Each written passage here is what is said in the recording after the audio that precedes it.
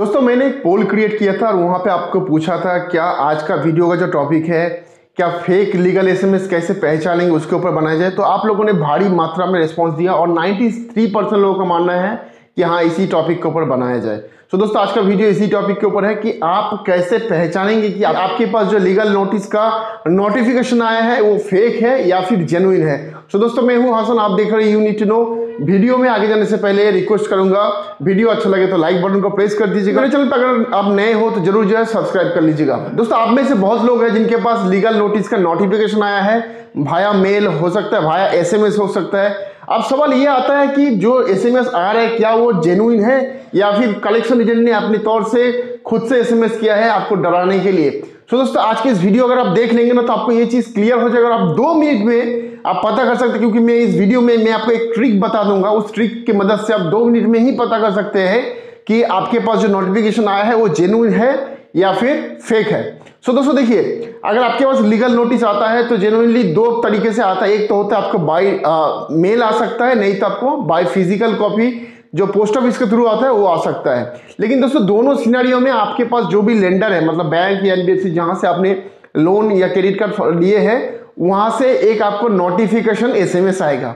अभी जो notification SMS आएगा, वो कोई मोबाइल नंबर से नहीं आएगा मतलब टेन डिजिट का मोबाइल नंबर से नहीं आएगा। ये आप ध्यान से सुनिए, कोई भी टेन डिजिट मोबाइल नंबर से नोटिफिकेशन नहीं आएगा। कौन सा नंबर से आएगा?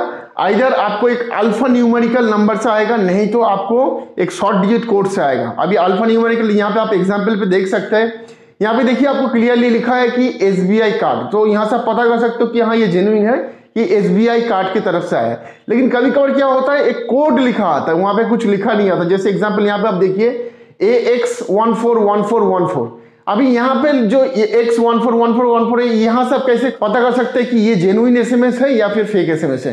देखिए दोस्तों, ये सब अगर कोड से आता है, कोई कोड के नंबर से आता है तो उसको वेरीफाई करने के लिए मैं आपको एक लिंक दे रहा हूँ, जो कि वीडियो का डिस्क्रिप्शन में है। उस लिंक को क्लिक करिए लिंक जैसे क्लिक करेंगे, एक पीडीएफ फ़ाइल होगा, वो आप डाउनलोड कर लीजिए। दोस्तों, ये पीडीएफ जो फ़ाइल है, ये ट्राई का जो वेबसाइट है वहाँ से मैंने लिया है डाउनलोड किया है, और उस पीडीएफ के अंदर जितना भी शॉर्ट एसएमएस का कोड होता है, वो सारे का डिटेल्स यहाँ पे है। जैसे ओपन करेंगे, यहाँ पे ऊपर में आपको ऑप्शन आएगा सर्च का।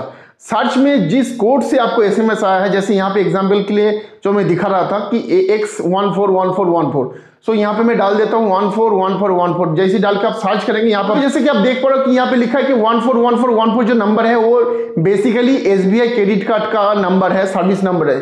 सो दोस्तों इस तरीके से आप पता कर सकते हो कि हाँ ये जो कोड है मतलब जेनुइन है। लीगल नोटिस का जो नोटिफिकेशन है ये सही है। तो दोस्तों आपके पास अगर कोई भी नोटिफिकेशन आता है ऐसा कोड से तो प्लीज़ जो है इस तरीके से कोड को यहाँ पे आप सर्च कर लीजिएगा। सर्च करके यहाँ से आप वेरीफाई कर लीजिएगा कि जो लेंडर है वो सही है कि गलत है। अगर यहाँ से कोड नहीं मैच करता तो जान लीजिए वो फेक है।